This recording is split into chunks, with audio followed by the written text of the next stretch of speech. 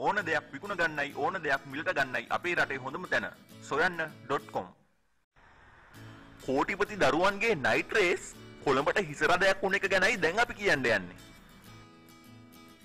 හොඳයි.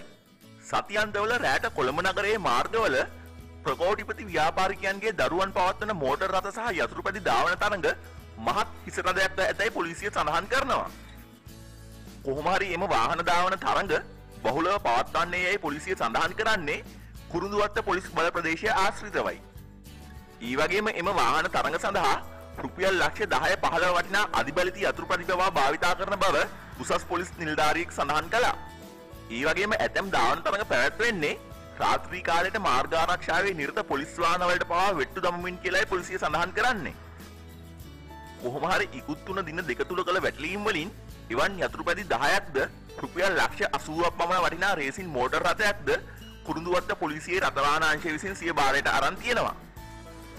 ඒ වගේම එම යතුරුපැදි වලින් බොහෝමයක් නීති විරෝධී ලෙස මෙරටට ආනයනය කර ඇති ඒවා බවද විමර්ශන වලින් පෙනී ගොස් ඇති බව එම නිලධාරියා පැවසුවා. ඒ වගේම අත්අඩංගුවට ගත්ත එම යතුරුපැදි සහ මෝටර් රථ මුදා හරින්න කියලා පොලිසියට බලපෑම් පවා එල්ල වෙන බවක් සඳහන් කරලා තියෙනවා. කොහොම හරි ඉතින් සල්ලිකාර පුත්තුන්ට නම් මේ රටේ නීතිය සෙල්ලමක් තමයි. මේ ගැන ඕගොල්ලන්ගේ අදහසත් කමෙන්ට් එකක් දාගෙන මෙයන්ද. ඒ වගේම මේ වගේ දේවල් දැනගන්න අපේ channel එක subscribe කරන්න අමතක කරන්නත් එපා. ස්තුතියි.